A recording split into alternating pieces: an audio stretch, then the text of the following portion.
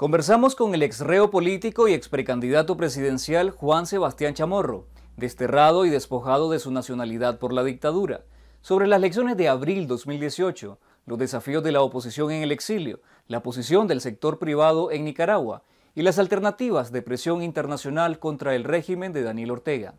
Nuestro director Carlos Fernando Chamorro nos cuenta la historia. Juan Sebastián, se están cumpliendo cinco años de la rebelión de abril que desató grandes movilizaciones en Nicaragua, paros nacionales, protestas en universidades, en los barrios, tranques y un diálogo nacional. Y durante 100 días parecía que tenía en jaque a la dictadura para abrir las puertas de un cambio político. ¿Por qué este movimiento no pudo lograr la salida de Daniel Ortega y Rosario Murillo?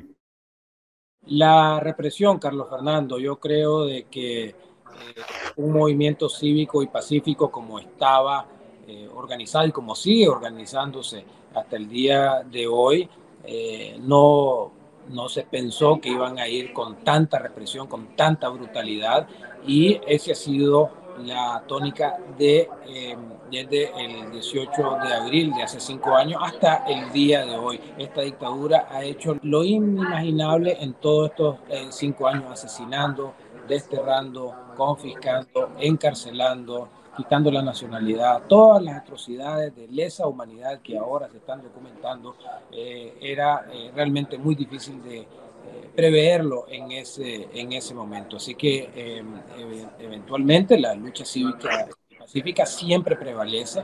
En eso estoy más que convencido y a veces toma efectivamente un poco más de tiempo que otro tipo de, de luchas, pero el final de la dictadura estoy seguro, estoy convencido y estos cinco años uno llega más al convencimiento de que está más cerca que tarde. Ortega ha dicho varias veces que para él hubo un punto de inflexión cuando en una reunión a mediados de junio los obispos de la conferencia episcopal le presentaron un cronograma, una agenda de reformas institucionales que salió del diálogo nacional y él dice que eso era un plan de golpe de Estado y lo usa para justificar la represión y la operación limpieza en el momento en que el movimiento cívico era más fuerte ¿Acaso no era previsible esa reacción de parte de Ortega? La insurrección cívica no tenía un plan alternativo para ejercer más presión en ese momento. Lo que ha dicho sobre ese punto de inflexión es una total falsedad. Efectivamente, en mayo se hicieron reuniones bilaterales con su propia gente ahí en la mesa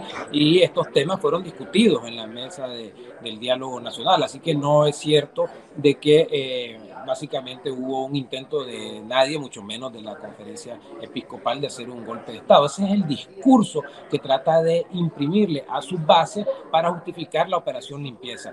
Y el 9 de julio, en la Basílica de San Sebastián, escuché perfectamente a los seguidores de Ortega, que llegaron con toda la violencia del caso, a decir esas mismas palabras que vos estás diciendo, de que los obispos habían intentado hacer un golpe de Estado, etcétera. Entonces, lo que trata de hacer Ortega, y lo ha tratado de hacer desde el principio es generar una historia paralela, una historia mentirosa sobre eh, una realidad que no ocurrió, un golpe de Estado que no ocurrió y tratar de efectivamente venderle a sus, eh, a sus bases una, una historia completamente falsa. Y lo estamos viendo hasta el día de hoy cuando trata de eh, nombrar este, este día tan importante como Día de la Paz. Y básicamente lo que está tratando de hacer es hacer exactamente lo mismo de que hizo desde el principio mentir sobre la historia y precisamente eso es lo que el trabajo de nosotros también es contrarrestar esa, esa mentira. El alcance de las arbitrariedades de Ortega ha llegado a puntos inimaginables, como decían anteriormente. Entonces era muy difícil prever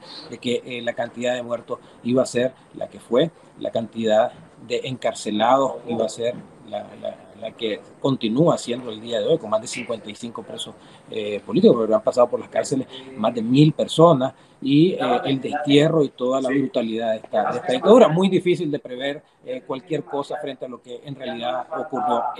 cuando dicen vamos con todo, en realidad significaban hacer todo lo humanamente posible para atornillarse en el poder. ¿Cuál es la principal lección que le dejó al liderazgo opositor estos 100 días de insurrección cívica? Bueno, yo creo que lo importante es estar coherentes, unidos, esa unión que debe haber entre todas las fuerzas eh. Yo creo de que en esos 100 días ha habido expresiones de todos los niveles, desde campesinos con la concesión canalera, campesinos en el Pacífico, eh, empresarios, estudiantes, movimientos eh, civiles. Era obvio y era de esperarse que efectivamente las perspectivas sobre la realidad nacional eh, tenían que ser eh, un poco diversas y eso creo yo que generó algún tipo también de, eh, de, diferencia entre cada uno de los sectores. Yo creo que ahora la, la oposición más organizada, más consciente del mal que tenemos encima, hemos llegado a muchas conclusiones, muchos puntos concretos y específicos que son necesarios seguir trabajando como puntos comunes para encontrar esta unión de todas las diversidades de las luchas opositoras y enmarcarnos en una estrategia que lleve al final de la dictadura, que termine la dictadura, que se establezca la, la justicia, que se establezca la verdad y que podamos fundar una Nicaragua democrática. ¿Dónde está hoy la oposición después de la excarcelación de los 222 presos políticos? que están desterrados en Estados Unidos. ¿Hay alguna forma de coordinación opositora o de unidad en la acción, como dicen algunos? ¿Cuáles son las principales fuerzas políticas que hoy conforman la oposición y la lucha cívica en Nicaragua? Tenemos bastantes mecanismos gracias a la, tecnología, Carlos, de comunicarnos. Estamos terminando ahora, un, un evento eh, recordando estos días. Eh, creo de que los liderazgos, particularmente los que veníamos en el avión, eh, los del Chipote, tenemos un compromiso de unión entre todos nosotros. Esa cárcel nos unió en muchos elementos, en muchas cosas. Y e, ese hecho de estar fuera de Nicaragua, efectivamente, hay que ser realista, genera ciertas pero lo importante es que estamos más unidos que nunca precisamente por esos 20 meses que pasamos en la, en la cárcel. Yo creo que es importante en estos momentos definir líneas de acción eh, estratégicas a seguir, tanto adentro como afuera.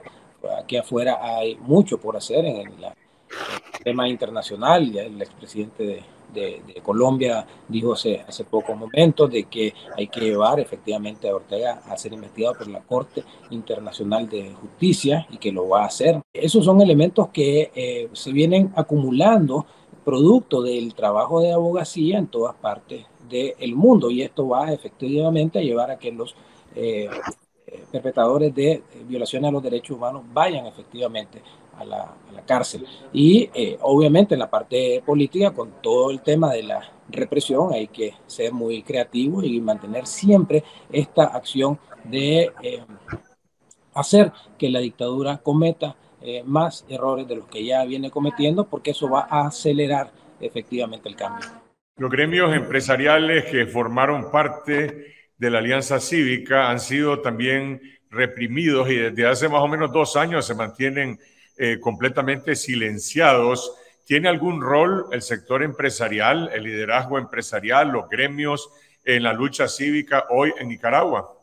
Yo creo que en primer lugar el sector privado es una definición bastante amplia que lamentablemente se ha querido siempre asociar a un tipo de, liderazgo eh, gremial o de un grupo específico de empresarios. La verdad es que el sector privado es motor de la economía, el 80% de la economía nacional se mueve por el sector privado. Ahora, con relación a los liderazgos, está eh, obviamente con mucho temor porque primero eh, han dejado de existir eh, jurídicamente, están confiscando bienes de las cámaras y en ese sentido, pues en este momento he notado un silencio muy prudente de parte de los liderazgos empresariales. Desconozco cuál va a ser su, su posición en el, en el, futuro, pero en este momento es comprensible esa, ese silencio eh, eh, ante todo lo que está pasando porque eh, las condiciones son, son muy difíciles. Aquí han pasado ya cinco años de acoso fiscal a empresas pequeñas, medianas y grandes y naturalmente eh, hay eh, temor ya no solamente por la existencia misma de las empresas, sino por la misma existencia física de eh, estos empresarios, que muchos de ellos no pueden salir del país. ¿Cómo ves la situación de la economía del país en este año y en 2024? Algunos economistas dicen, bueno, hay un crecimiento económico mediocre, no hay nuevas inversiones. Y por el otro lado, otros dicen, bueno, pero el régimen tiene recursos por lo menos para uno o dos años más por la recaudación tributaria o por el acoso fiscal, por las exportaciones, por las remesas familiares y por los fondos del BESIE.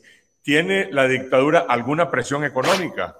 Sí la tiene, Carlos, efectivamente. Eh, los niveles de financiamiento que tenían anteriormente el Banco Mundial, el Banco Interamericano, otras fuentes eh, laterales se han eh, extinguido, se han desaparecido. Obviamente el BCE todavía y sigue siendo el principal financiador. Todavía hay más de 94 mil millones de Córdoba de ingresos tributarios. Esto es una cantidad de plata eh, eh, bastante eh, significativa si además se ve desde el punto de vista histórico. Hace 10 años este presupuesto de ingresos era mucho menor. Entonces, en este sentido, sí hay una, una dificultad financiera, pero no lo pondría yo en un, en un nivel de, de, crisis de alerta máxima.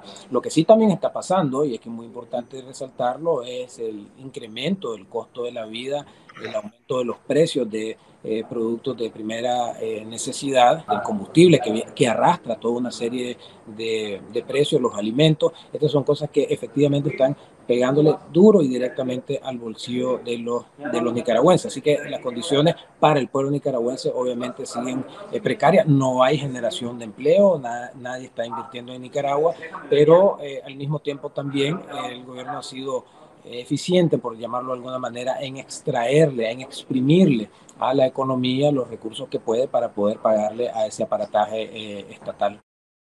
Algunos congresistas en Estados Unidos abogan por una revisión del Tratado de Libre Comercio CAFTA e incluso de su suspensión. ¿Qué posición tiene la oposición nicaragüense sobre este tema o cuál es la tuya en particular al respecto? Hay oposiciones variadas. Yo personalmente eh, creo que cualquier acción que vaya a afectar al nicaragüense promedio, al trabajador, eh, es, eh, es, negativo.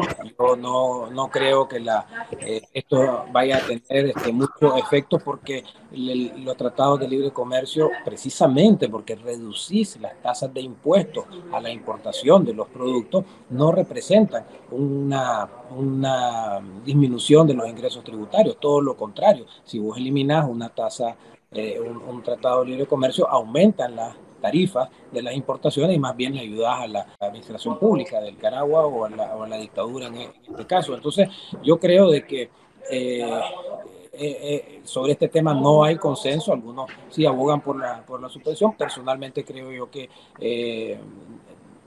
generar todo este daño a la, una inmensa cantidad de nicaragüenses, más de 150 mil personas que dependen del Tratado de Libre Comercio, que eso le multiplicamos más de cuatro personas por trabajador directo y tres trabajadores indirectos, estamos hablando de más de 700 a 900 mil personas que serían afectadas, que no tienen nada que ver eh, con, con, el asunto, son nicaragüenses que están viviendo el día, del día a día y yo creo que hay otros mecanismos que deberían de implementarse para afectar efectivamente a la dictadura y no a el pueblo nicaragüense.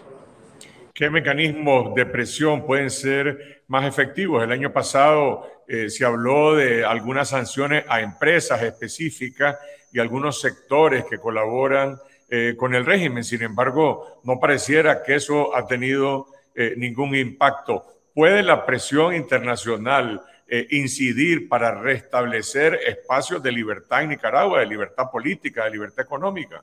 Sí, Carlos Fernando, creo que sí. Eh, las eh, sanciones individuales a personeros que han estado involucrados en la violación de derechos humanos tienen que eh, continuar y a instituciones, particularmente empresas que le llevan recursos a la dictadura para seguir eh, reprimiendo son acciones completamente eh, legítimas, porque esto ya no afecta al nicaragüense promedio, sino que afecta a las arcas de la dictadura para seguir este, reprimiendo. Yo creo que esto es parte de, la, de las fuerzas, eh, de las acciones de fuerza que pueden implementarse, tomando en cuenta también de que lo que también debe haber acá es continuar con la resistencia eh, con este desafío a la dictadura desde adentro y generar que ellos continúen haciendo y cometiendo más y más errores para quedar en ridículo como lo han hecho con la comunidad internacional. Todas estas acciones, eh, nuestra, eh, nuestra expulsión, la quitada de la nacionalidad,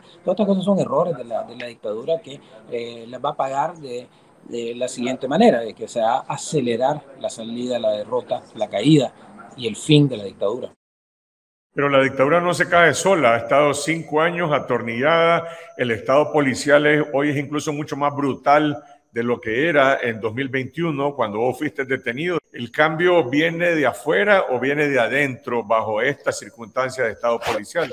Principalmente de adentro, creo, Carlos Fernando, cuando digo yo que hay que desafiar a la dictadura, es que las acciones cívicas y pacíficas en todas partes del mundo al desafiar el poder, al desafiar el abuso, terminan, terminan prevaleciendo. Así que yo soy un creyente de que el cambio tiene que venir de adentro, efectivamente, no se cae sola, en eso estoy totalmente de acuerdo, por eso es importante seguir siempre desafiando a esa, a esa dictadura que se cree fuerte, pero que en realidad no está fuerte, producto de, ese temor que tienen es precisamente lo, que vimos la represión en, en, Semana Santa, son 55 presos políticos. Y también hay que trabajar desde afuera, desde el concierto de los países internacionales, los foros internacionales, Naciones Unidas, lesa humanidad, todas estas cosas también ayudan.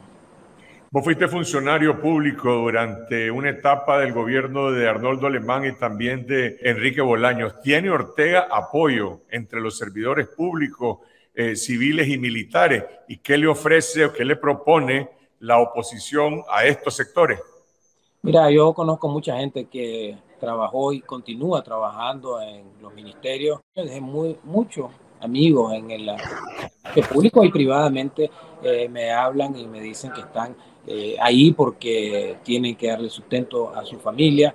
he visto también en, en filas de gente que, que, están en otras instancias públicas, que están hartos ya de la, de la dictadura. Yo creo que nosotros tenemos que tender una mano importante de eh, apoyo a estas personas que, igual que nosotros, están siendo secuestradas, eh, extorsionadas dentro de un sistema totalmente corrupto y que son tan nicaragüenses como nosotros, aquellos funcionarios públicos que no han cometido ningún delito, que simplemente eh, son maestros, enfermeras, médicos, este, personas del sector público que eh, están también esperando un cambio como nosotros. Y te sorprendería la enorme cantidad de mensajes que nosotros recibimos de funcionarios públicos que muestran esa simpatía. Así que yo creo que la responsabilidad de nosotros como eh, oposición es entender de qué hacer, entender a, todas las fuerzas opositoras de que estas personas son importantes también para el cambio. Si nosotros hacemos un mensaje muy agresivo contra estas personas, muchos de ellos lo que van a hacer es acuerparse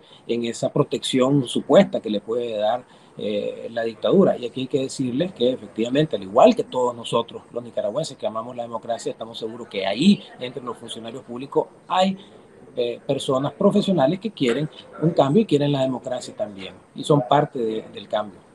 La oposición salió del silencio, salió de la cárcel moralmente fortalecida, tiene hoy eh, rostro, tiene hoy una vocería y sin embargo la gente dice, bueno, pero no es una alternativa de gobierno, es decir, no es un polo de referencia para verdaderamente mover a un cambio hoy en el país.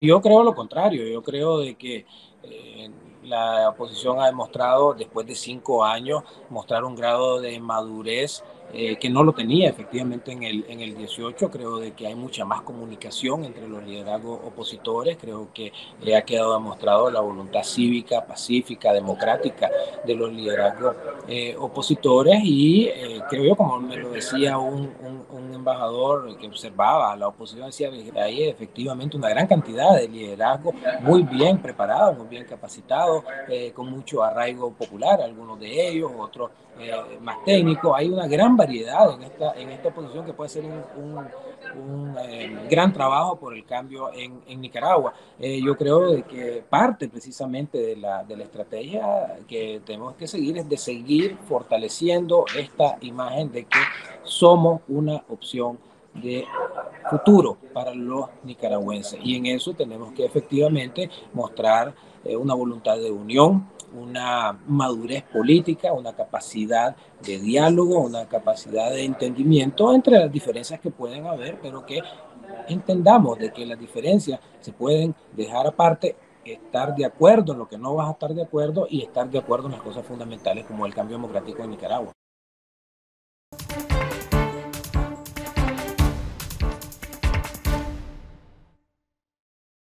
Gracias por ver este video para seguir derrotando la censura en Nicaragua.